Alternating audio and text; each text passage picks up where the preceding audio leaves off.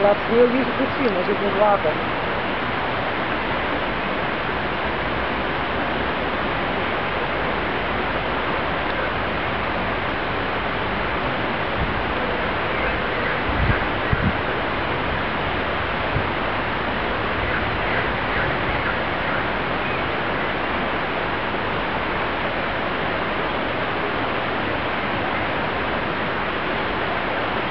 Tá.